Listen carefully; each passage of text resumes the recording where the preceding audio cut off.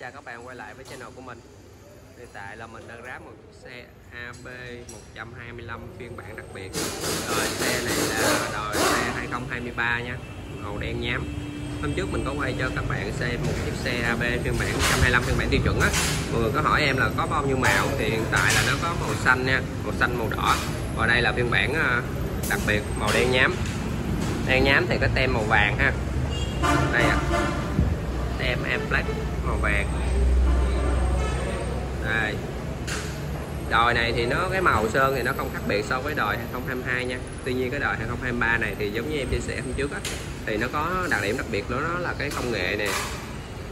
Công nghệ này để để di chuyển từ uh, các uh, đòi SH xuống AB tức là SB cộng SB kết giúp cho xe mình đi máy hơn. Đây cũng giống như có phân loại tiêu chuẩn thì cái à, cặp phục nó cũng có thay đổi so với đời 2022 ha. Cặp phục đứng. Phục này thì mình có xoay được. Yeah. đèn đuôi phía sau là đèn led. Đây và đặc biệt là cây bô cũng giống như cái đời à, tiêu chuẩn luôn. Cây bô rất là đẹp. Chi tiết rất là đẹp. Đây, à, nhìn từ xa thì rất là đẹp nghiêng lên ha. Có độ dốc lên thì nhìn cái xe rất là đẹp luôn.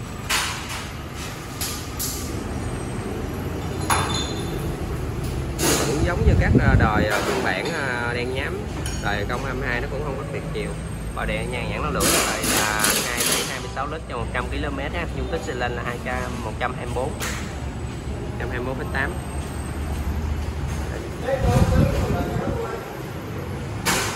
chìa khóa thông minh đồng hồ thì nó vẫn không có khác biệt so với cái đời 2022 ha.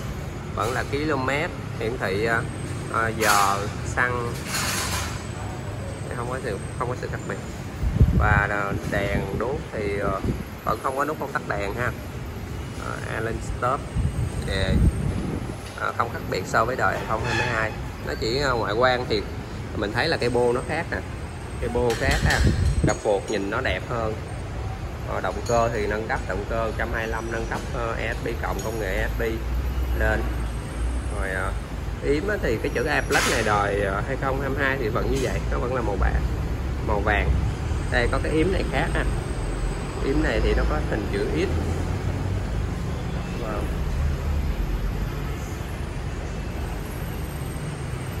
đối với đời phiên bản tiêu chuẩn thì nó sẽ có màu đen và màu xanh màu xanh và màu đỏ ha và đời đặc biệt này thì nó có màu đen. Đối với 125 thì hiện tại là Honda chỉ mới ra mắt ba màu thôi ha. Mặt trước của nó. Đèn. Nhìn y chang cái đời 022 không khác biệt luôn. Tổng thể xe thì à, nhìn à, nếu mà anh chị nào mà chưa có nghiên cứu về xe hoặc là mới nhìn thấy dòng xe này thì sẽ khó mà phân biệt được nó là đời 022 023 tại vì nó gần như giống nhau luôn. Chỉ có anh em mà đã bán xe hoặc là à, mình đã có nghiên cứu về dòng xe này thì mình biết được cái màu xe nó khác biệt ha. Rồi thì à, à, anh chị nào mà có nhu cầu thì cứ liên hệ với mình qua số điện thoại mình để cái video á. Và mình muốn à, em quay cái dòng xe nào thì à, anh chị mình cứ à, à, để lại tin nhắn đi. Em sẽ quay và em sẽ chia sẻ cơ bản cái dòng xe cho anh chị mình thấy ha. Rồi xin chào và hẹn gặp chị ở những clip ráp xe tiếp theo ạ. à.